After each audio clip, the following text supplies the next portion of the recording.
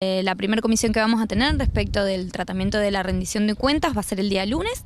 Esperamos recibirlo al secretario de Hacienda y Finanzas Públicas, Sebastián Serrano, eh, para que nos brinde información.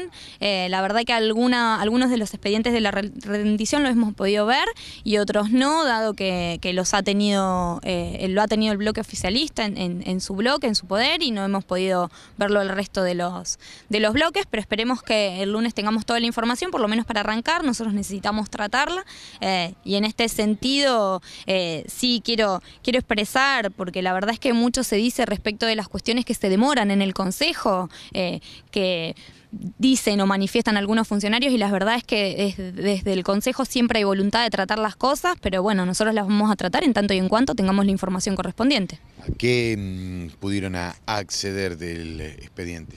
Hemos visto algunos de los formularios que tienen que ver con la rendición, pero en el caso del ejecutado de gastos y recursos no lo hemos podido ver porque hasta el día de ayer ha estado en el bloque del Frente Renovador. Recién ayer eh, se pudieron hacer de, los biblioratos la Secretaría del Consejo, así que estamos a la espera de, tener copia para poder verlo. La verdad que esto eh, lo que hace es atrasar el tratamiento porque tranquilamente el secretario de Economía podría haber eh, enviado por mail los formularios del sistema. ¿Qué aspecto consideras como más saliente para detenerte en el análisis? La verdad es que vamos a controlar realmente los gastos que han realizado eh, por secretaría, eh, las partidas de personal, eh, pago de horas extras, vamos a ver y hacer un análisis real de, lo que se ha pagado, pero la verdad es que hasta que no tengamos información no puedo ahondar mucho en, en lo que va a ser el análisis de la rendición. ¿Qué importancia ocupa la deuda, tanto consolidada como flotante? Y la verdad es que vamos a tener un panorama donde tengamos la información real de cómo está